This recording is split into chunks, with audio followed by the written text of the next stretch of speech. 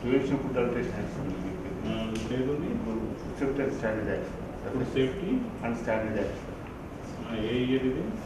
పొట్లాలు కట్టి పొట్లం పొట్లం అంటారు పొట్లం మధ్యలో పెట్టేస్తారు.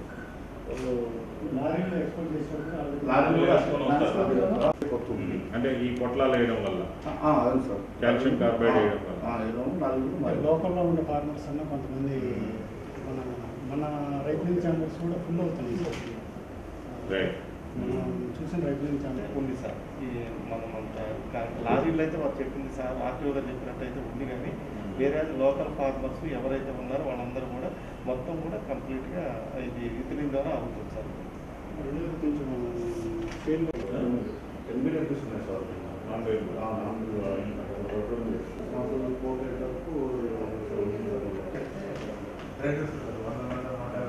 మండి మాదిరి పెట్టింటారు సార్. లాస్ట్లో ఉంటే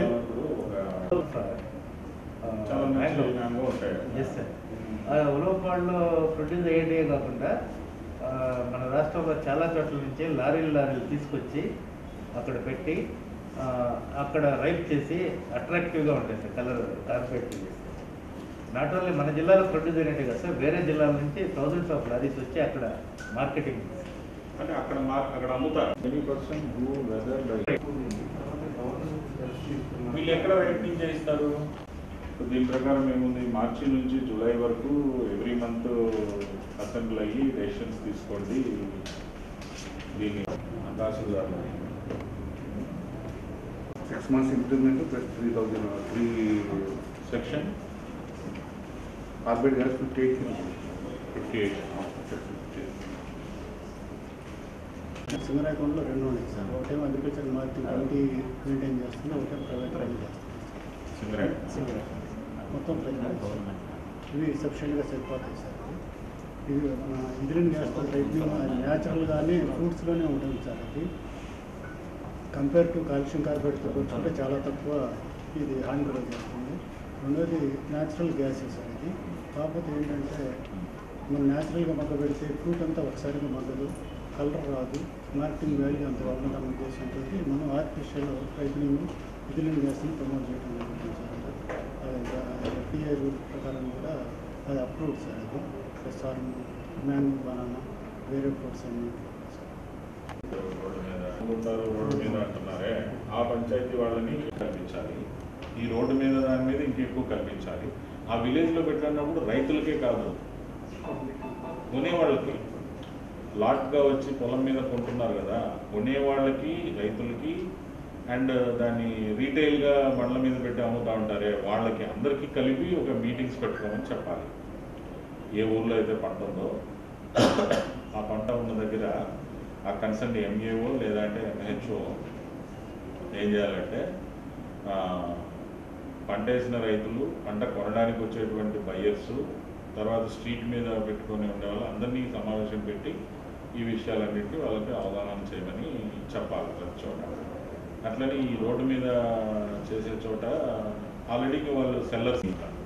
ఇథిలీన్ రెండు రకాలుగా కూడా వాడచ్చు. గ్యాస్ రూపంలో కూడా వాడచ్చు. అండ్ దాన్ని ద్రవ రూపంలో కూడా లిక్విడ్ ఫామ్లో కూడా వాడచ్చు. రెండు రకాలుగా వాడినా కూడా ఎటువంటి హామ్ లేదు. అసలు పళ్ళు రైప్ అయ్యేది కూడా న్యాచురల్గా కూడా ఇథిలీన్తోనే అవి రైప్ అవుతాయి. ఇథిలీన్తోనే కాబట్టి మనం కూడా ఇస్తున్నాం ఇథిలీనే ఇస్తున్నాం. ఇది హామ్ కాకపోగా ఇంకా రైతులకి కొద్దిగా మార్కెట్ వాల్యూస్ కూడా ఇస్తుంది అని చెప్పి చెప్తా ఉన్నారు. సో ఇది బ్యాక్గ్రౌండ్ అంతా. ఈ బ్యాక్గ్రౌండ్ని పక్కకు పెడితే ఇప్పుడు అరికట్టడం ఎట్లా?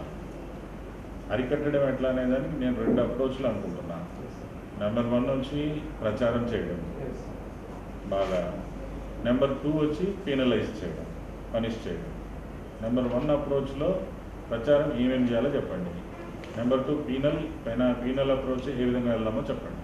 రెండు.